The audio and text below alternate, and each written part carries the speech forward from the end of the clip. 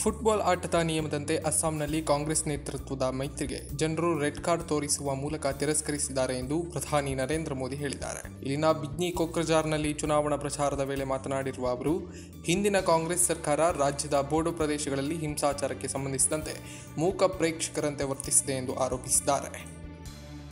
ಮಮತಾ ಬ್ಯಾನರ್ಜಿ ನಂದಿ ಗ್ರಾಮದಲ್ಲಿ ಹೀನಾಯವಾಗಿ ಸೋಲಲಿದ್ದಾರೆ ಎಂದು ಬಿಜೆಪಿ ಅಭ್ಯರ್ಥಿ ಸುವೇಂದು ಅಧಿಕಾರಿ ಹೇಳಿದ್ದಾರೆ. ಇಂದು ವಿಧಾನಸಭಾ ಕ್ಷೇತ್ರ ನಂದಿಗ್ರಾಮದ ನಂದನಾಯಕ್ ಪ್ರಾಥಮಿಕ ಶಾಲೆಯಲ್ಲಿ ಮತ ಚಲಾಯಿಸಿದ ಅವರು, ನಾನು ನಂದಿಗ್ರಾಮದ ಜನರೊಂದಿಗೆ ಹಲವು ವರ್ಷಗಳಿಂದ ನಿಕಟ ಸಂಬಂಧ ಹೊಂದಿದ್ದೇನೆ. ಜನರು ನನಗಾಗಿ ಮತ ಚಲಾಯಿಸ್ತಾರೆ, ನನ್ನನ್ನು ಜನರು ಗೆಲ್ಲಿಸ್ತಾರೆ ಎಂದು ವಿಶ್ವಾಸ ವ್ಯಕ್ತಪಡಿಸಿದ್ದಾರೆ. ಇಂದಿನಿಂದ ಅಡುಗೆ ಅನಿಲ ಸಿಲಿಂಡರ್ ದರ ಹತ್ತು ರು ಕಡಿಮೆಯಾಗಲಿದೆ ರಾಜ್ಯ ರಾಜಧಾನಿಯಲ್ಲಿ ಹದಿನಾಲ್ಕು ಕೆಜಿ ಸಿಲಿಂಡರ್ ಎಂಟುನೂರ ಹನ್ನೆರಡು ರೂಪಾಯಿಗೆ ಲಭ್ಯವಾಗಲಿದೆ. ಹೊಸದಿಲ್ಲಿ ಮುಂಬೈಗಳಲ್ಲಿ ಎಂಟುನೂರ ಒಂಬತ್ತು ರೂಪಾಯಿಗೆ ಸಿಗಲಿದೆ. ಪ್ರತಿ ಲೀಟರ್ ಪೆಟ್ರೋಲ್, ಡೀಸೆಲ್ನಲ್ಲಿ ಕ್ರಮವಾಗಿ ಇಪ್ಪತ್ತ ಎರಡು ಪೈಸೆ ಇಪ್ಪತ್ತ್ಮೂರು ಪೈಸೆ ಇಳಿಕೆಯಾದ ಬೆನ್ನಲ್ಲೇ ಎಲ್ ಪಿ ಜಿ ದರವು ಇಳಿದಿರುವುದು ಗ್ರಾಹಕರಿಗೆ ನೆಮ್ಮದಿ ನೀಡಿದೆ. ಕಳೆದ ನೂರ ಮೂವತ್ತೆರಡು ವರ್ಷಗಳಿಂದ ಭಾರತೀಯ ಸೇನೆಗೆ ಹಾಲು ಪೂರೈಸುತ್ತಾ ಬಂದಿದ್ದ ಡೈರಿಗಳು ಇದೀಗ ಇತಿಹಾಸದ ಪುಟ ಸೇರುತ್ತಿವೆ. ದೇಶದ ಪ್ರಮುಖ ನಗರಗಳಲ್ಲಿ ಸುಮಾರು ಇಪ್ಪತ್ತು ಸಾವಿರ ಎಕರೆ ಜಮೀನಿನಲ್ಲಿ ಹಾಲಿನ ಡೈರಿಗಳಿದ್ದವು. ಇವುಗಳಿಂದ ದೇಶದ ವಿವಿಧ ಭಾಗದಲ್ಲಿ ಕರ್ತವ್ಯ ನಿಭಾಯಿಸುತ್ತಿರುವ ಯೋಧರಿಗೆ ನಿತ್ಯ ಹಾಲು ಪೂರೈಕೆಯಾಗುತ್ತಿತ್ತು. ಗ್ರಾಮೀಣಾಭಿವೃದ್ಧಿ ಇಲಾಖೆಯಲ್ಲಿ ಸಿಎಂ ಯಡಿಯೂರಪ್ಪ ಹಸ್ತಕ್ಷೇಪ ಮಾಡಿದ್ದಾರೆಂದು ಸಚಿವ ಈಶ್ವರಪ್ಪ ರಾಜ್ಯಪಾಲರಿಗೆ ದೂರು ನೀಡಿರುವ ಬೆನ್ನಲ್ಲೇ ಸಂಪುಟದ ಸಚಿವರು ಮತ್ತು ಬಿಜೆಪಿ ಶಾಸಕರು ಸಿಎಂ ಬೆಂಬಲಕ್ಕೆ ನಿಂತಿದ್ದಾರೆ. ಏನೇ ಸಮಸ್ಯೆಗಳಿದ್ದರೂ ಚರ್ಚೆ ಮಾಡಬೇಕಿತ್ತು. ರಾಜ್ಯಪಾಲರಿಗೆ ದೂರು ನೀಡುವ ಅಗತ್ಯವೇನಿತ್ತು ಎಂದು ಈಶ್ವರಪ್ಪ ನಡೆಯನ್ನು ವಿರೋಧಿಸಿದ್ದಾರೆ. ಸಿಎಂ ಯಡಿಯೂರಪ್ಪ ವಿರುದ್ಧ ಸಚಿವ ಈಶ್ವರಪ್ಪ ಮಾಡಿರುವ ಆರೋಪ ಗಂಭೀರ ಸ್ವರೂಪದಾಗಿದ್ದು ರಾಜ್ಯದ ಆಡಳಿತ ಕುಸಿದು ಬಿದ್ದಿರುವುದಕ್ಕೆ ಇದು ಸಾಕ್ಷಿಯಾಗಿದೆ. ರಾಜ್ಯಪಾಲರು ತಕ್ಷಣ ಮಧ್ಯಪ್ರವೇಶಿಸಿ ಮುಖ್ಯಮಂತ್ರಿಯವರನ್ನು ವಜಾಗೊಳಿಸಿ ರಾಷ್ಟ್ರಪತಿ ಆಡಳಿತಕ್ಕೆ ಶಿಫಾರಸು ಮಾಡಬೇಕೆಂದು ವಿಪಕ್ಷ ನಾಯಕ ಸಿದ್ದರಾಮಯ್ಯ ಆಗ್ರಹಿಸಿದ್ದಾರೆ.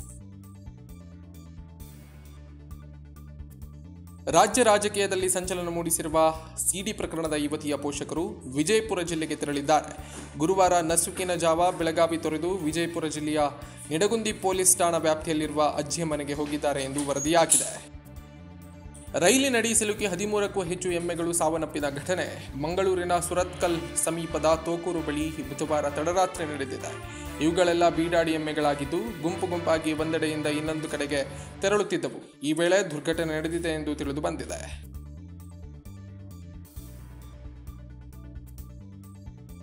ತಮಿಳು ನಟ ರಜನಿಕಾಂತ್ ಅವರು ಐವತ್ತ ಒಂದನೇ ದಾದಾ ಸಾಹೇಬ್ ಫಾಲ್ಕೆ ಪ್ರಶಸ್ತಿಗೆ ಆಯ್ಕೆಗೊಂಡಿದ್ದಾರೆ. ಎರಡ್ ಸಾವಿರದ ಹತ್ತೊಂಬತ್ತನೇ ಸಾಲಿನ ದಾದಾ ಸಾಹೇಬ್ ಫಾಲ್ಕೆ ಪ್ರಶಸ್ತಿಗೆ ರಜನಿ ಆಯ್ಕೆಗೊಂಡಿದ್ದಾರೆ. ಭಾರತದ ಸಿನಿಮಾ ರಂಗದಲ್ಲಿ ಅವರು ಮೇರು ನಟ. ಚಿತ್ರರಂಗಕ್ಕೆ ಅವರ ಕೊಡುಗೆ ಅನನ್ಯ ಎಂದು ಕೇಂದ್ರ ಮಾಹಿತಿ ಮತ್ತು ಪ್ರಸರಣ ಸಚಿವ ಪ್ರಕಾಶ್ ಜಾವಡೇಕರ್ ತಿಳಿಸಿದ್ದಾರೆ. ಹದಿನಾಲ್ಕನೇ ಆವೃತ್ತಿಯ ಐಪಿಎಲ್ ಕೂಟಕ್ಕೆ ದಿನಗಣನೆ ಶುರುವಾಗಿದ್ದು, ತಂಡಗಳು ಅಭ್ಯಾಸದಲ್ಲಿ ತೊಡಗಿವೆ. ಆದರೆ ಇದೇ ವೇಳೆಗೆ ಆಸಿಸ್ ವೇಗಿ, ಜೋಶ್ ಹ್ಯಾಜಲ್ವುಡ್ ಐಪಿಎಲ್ ಕೂಟದಿಂದ ಹಿಂದೆ ಸರಿದಿದ್ದು, ಚೆನ್ನೈ ಸೂಪರ್ ಕಿಂಗ್ಸ್ ತಂಡಕ್ಕೆ ಶಾಕ್ ನೀಡಿದ್ದಾರೆ. ದೇಶದ ಗಡಿ ಭದ್ರತಾ ಪಡೆಯಲ್ಲಿ ಸೇವೆ ಸಲ್ಲಿಸಲು ಬೈಂದೂರು ಗ್ರಾಮದ ಯುವತಿಯೊಬ್ಬರು ಅವಕಾಶ ಪಡೆದಿದ್ದಾರೆ. ಬೈಂದೂರು ತಾಲೂಕಿನ ಎಳಜಿತ್ ಗ್ರಾಮದ ಹುಣಸಮಕ್ಕಿ ನಿವಾಸಿ ವಿದ್ಯಾಗೌಡ, ಪ್ರಸಕ್ತ ಸಾಲಿನಲ್ಲಿ ಸೇನೆಗೆ ಸೇರಿರುವ ಇವರು ಉಡುಪಿ ಜಿಲ್ಲೆಯ ಏಕೈಕ ಅಭ್ಯರ್ಥಿಯಾಗಿದ್ದಾರೆ. ಮಂಗಳೂರು ನಗರದ ದೈವಸ್ಥಾನಗಳ ಕಾಣಿಕೆ ಹುಂಡಿಗಳಿಗೆ ಅಪಚಾರ ಮಾಡಿದ ಪ್ರಕರಣದಲ್ಲಿ ಇಬ್ಬರನ್ನು ಬಂಧಿಸಲಾಗಿದೆ ಎಂದು ಮಂಗಳೂರು ನಗರ ಪೊಲೀಸ್ ಆಯುಕ್ತ ಎನ್ ಶಶಿಕುಮಾರ್ ಹೇಳಿದ್ದಾರೆ. ನಗರದಲ್ಲಿ ಸುದ್ದಿಗೋಷ್ಠಿ ನಡೆಸಿದ ಅವರು, ಈ ಮಾಹಿತಿ ನೀಡಿದರು, ಮಂಗಳೂರಿನ ಜೋಕಟ ನಿವಾಸಿಗಳಾದ ಅಬ್ದುಲ್ ರಹೀಂ, ಅಬ್ದುಲ್ ತೌಫಿಕ್ ಬಂಧಿತ ಆರೋಪಿಗಳು ಎಂದು ಗುರುತಿಸಲಾಗಿದೆ.